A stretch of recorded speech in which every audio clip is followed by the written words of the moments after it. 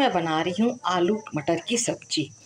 बहुत कम मसालों में हमारी ये सब्ज़ी, अभी छट मैंने राई राई का तड़का लगाया, जीरे राई का। उसके बाद ये मसाले मैंने इसमें डाल दिए, टमाटर, हरी मिर्ची और धनिया। तुरंत ही काश्मीरी मिर्च भी डाल दिया मैंने दोस्त को।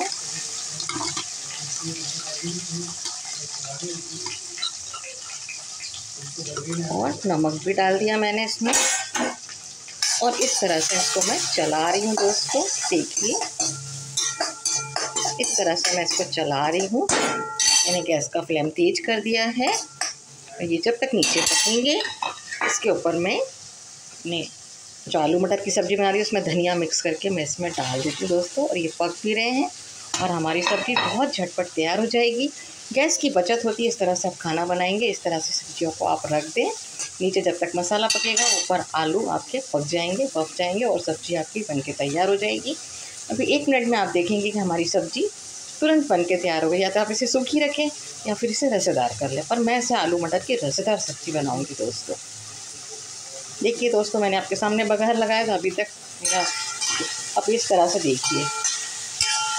मैंने कुछ भी मसाले नहीं डाले, ना मैंने धनिया पाउडर डाला, ना आज की सब्ज़ी में मैंने लहसुन प्याज भी यूज़ नहीं किया है। बस इस तरह की सब्ज़ी देखिए दोस्तों, दाल, चावल, पूड़ी, पराठा, किसी के साथ भी आप ऑफ़िस ले जाएँ या ट्रेन में ले जाएँ, कहीं भी ले जाएँ, बताइए दोस्तों, अच्छी लगेगी कि नहीं लगेगी?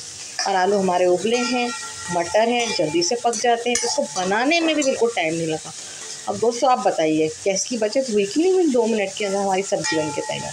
देखिए, सब्ज़ी तेल छोड़ने लगी। सब्ज़ी तैयार हो गई ना दोस्तों?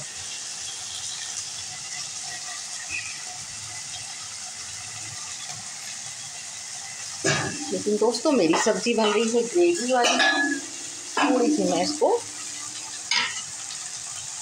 देखिए दोस्तों, इस तरह से हमारी सब्ज़ी मैंने आपके सामने ही बघार लगाया और सब्ज़ी हमारी सूखी तो पूरी बन के तैयार हो गई, चाहे तो ऐसी रख लें। लेकिन मैं रसादार बना रही हूँ। तो मैं इसमें थोड़ा सा पानी ऐड करूँगी दोस्तों, बहुत थोड़ा सा क्योंकि मेरे यहाँ ये थोड़ा सा पुड़ी के साथ, चावल के साथ खाएँगे तो इसलिए मुझे थोड़ी सी आज की सब्ज़ी रसदार बनानी है दोस्तों। तो ये भी उबल गई सब्ज़ी। दोस्तों, झटपट बन के तैयार।